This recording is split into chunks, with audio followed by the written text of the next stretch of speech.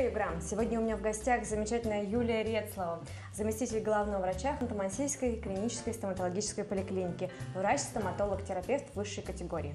Доброе утро. Доброе Юлия. утро, Алис. Чем вы обычно завтракаете?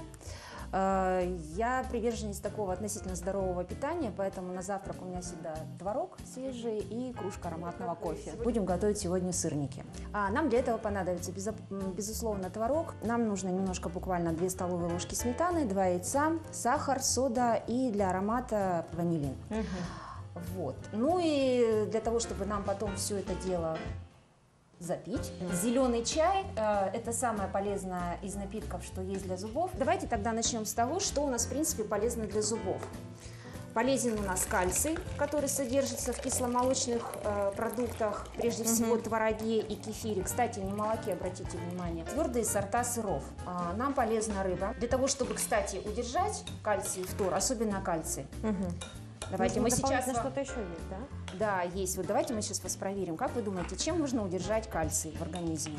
Витамин D? Молодец. А э, как он вырабатывается, витамин D у нас в От организме? солнышка? У нас сегодня замечательная погода, все для здоровья зубов. Экзамен я прошла. Можете рассказывать. Так, давайте э, расскажем, что мы сделали. Мы взяли... Мы смешали все ингредиенты и готовим сейчас э, достаточно такую плотную консистенцию. Давайте вспомним, что в основном ели люди пожилого возраста. Это была морковь, это была репа, то есть твердые овощи. Ну, редко когда яблоки. То есть у нас происходило самоочищение полости рта. Мало того, что твердая пища, во-вторых, активно выделялась слюна. И, э, Некая природная зубная щетка. ну, пусть так назовем, да? А что сейчас кушают наши дети? Котлетки, булочки, чипсики. То есть очень все мягкое, углеводы. В результате все это налипает на зубах. А чистить наши дети не хотят. Давайте будем откровенно говорить, что и родители это все пускают на самотек. В результате, к сожалению, наши дети практически стопроцентно поражены кариесом. Давайте поговорим про вашу школу. Расскажите еще подробнее о ней. Это уникальный проект, наверное, ну, однозначно в городе и в Югре а, мы единственные, кто открыли такую школу, открываем школу здоровых зубов. Несмотря на то, что летний период, учиться мы будем продолжать.